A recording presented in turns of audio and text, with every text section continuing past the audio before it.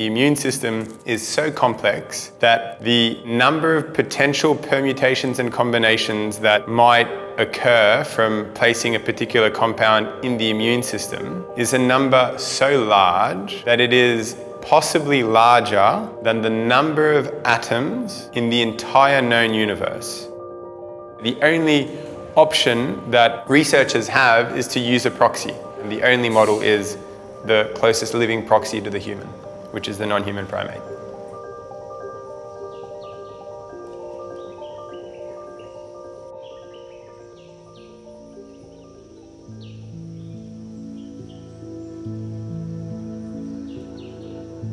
I met Owen pretty much straight away after starting university and we talked about coming to this part of the world. Lots of discussions on what we were going to do together here. So I still had to find my way. And that's when I discovered the extreme importance of monkeys in biomedical research. So then we started talking, oh, okay, there's monkeys in Mauritius.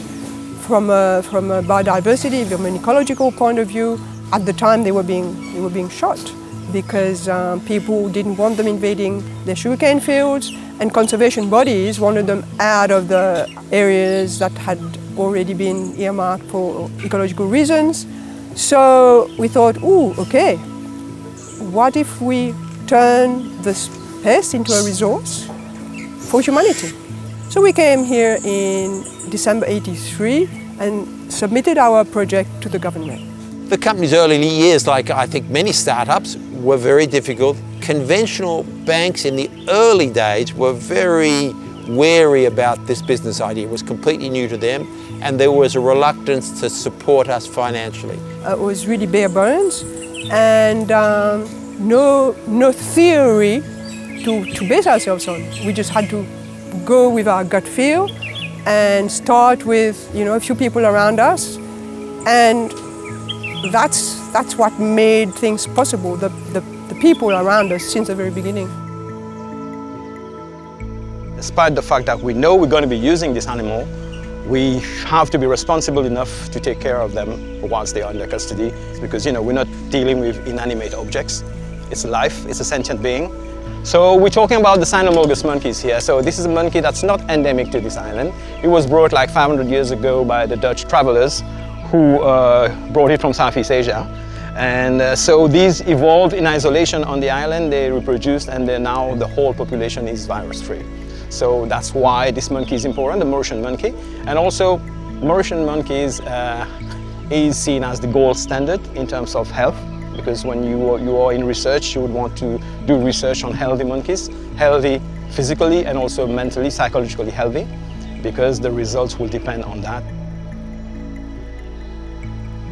So how do we go about uh, determining what's best for the animal, right? So yeah, this is something that I think is unique, if I may say, to our group here.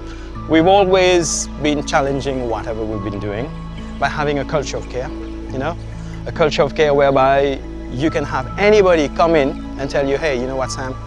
What if we do that this way for the animal? So which means like it doesn't, it's not the bosses telling people how to do, it's the whole team and like embracing this philosophy and coming forward. So that's the culture of care.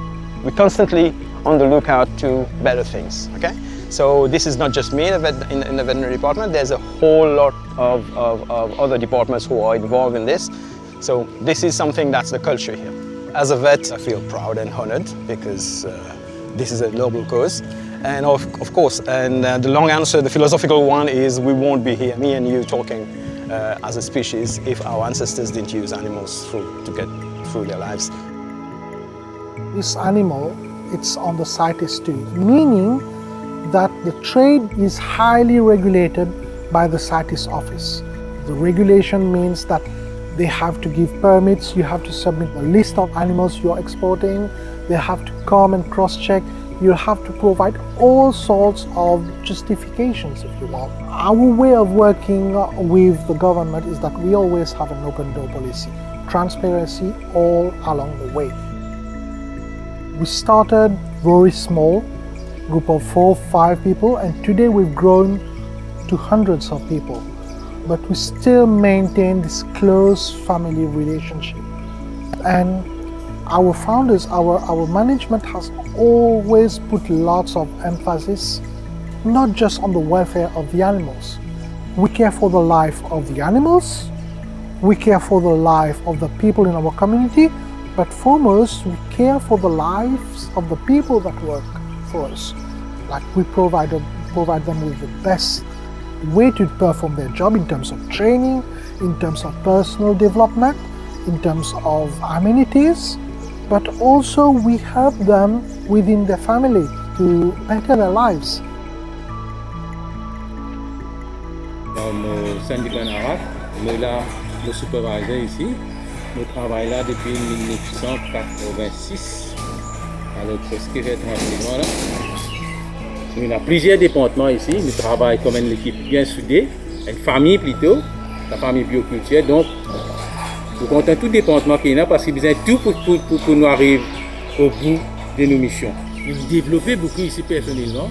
On vient ici, on prend valeur l'environnement, valeur la vie, et valeur comment pour rester dans la société? Comment vous dire, il y a une école plutôt ici, il y a une université plutôt ici.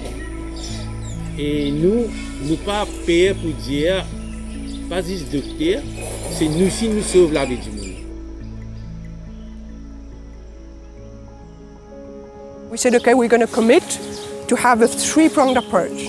Animal welfare, the people welfare, and looking after the environment. These are things that we value as individuals and they've become part of our corporate DNA, if you like. Mauritius has only, sadly, 2% of its original forest left. And that 2% is in trouble not because it's been cleared anymore, but because of invasive alien species. So what we have done is we have acquired areas of high biodiversity value in Mauritius, both on the east coast, the west coast, and in the north. Areas of native forest that were highly threatened. Now, they were highly threatened because of invasive alien species. We've set up teams there to weed the forest, to plant the native plants back in gaps in the forest, and then also we're working with government to reintroduce critically endangered bird species, reptile species, and even snail species back into those forests where they have gone. To restore the environment, you need money. You can't always get money from funders, you can't always get money from government. If you've got a business that's making profits, then you can plough those profits back into conservation. And that's absolutely our vision. That's exactly what we want to do. So without the business, you wouldn't have the funds to do it, even if you had the idea, even if you had the willingness to do so. You need money to do it. And we have been very strong in putting important amounts of our profits back into conservation, be it in Mauritius, be it on the island of Rodrigues within the Republic of Mauritius, or be it in Madagascar.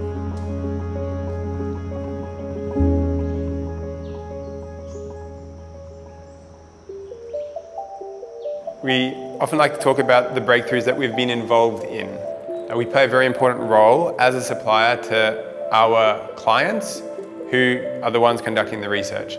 Um, we've just been through one of the most surreal parts of modern history, which is the pandemic that happened in 2020. And we are very proud to say that we played an important role in supplying the non-human primates that we used to develop the two main uh, vaccines.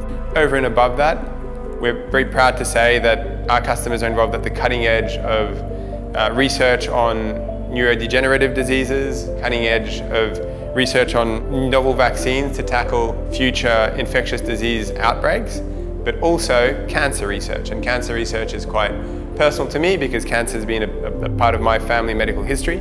We anticipate over the coming years a lot of progress. The progress is not going to be a breakthrough from one day to the next. It's going to be iterative progress, um, baby steps, as we like to say. But progressively over the next decade, I have um, great hope that our customers and by extension us will have played a role in making immense strides to addressing these scourges. Despite uh, being this company, the small company that started 40 years back, the company has had an outsized impact on the current state of global health and also the future of global health. That itself is very exciting. We have uh, tried to focus on going up the value chain, doing the vertical integration within our businesses to make sure that our customers are best served. Now imagine being in Mauritius, small island in the, in the middle of Indian Ocean and making that much impact at a global level.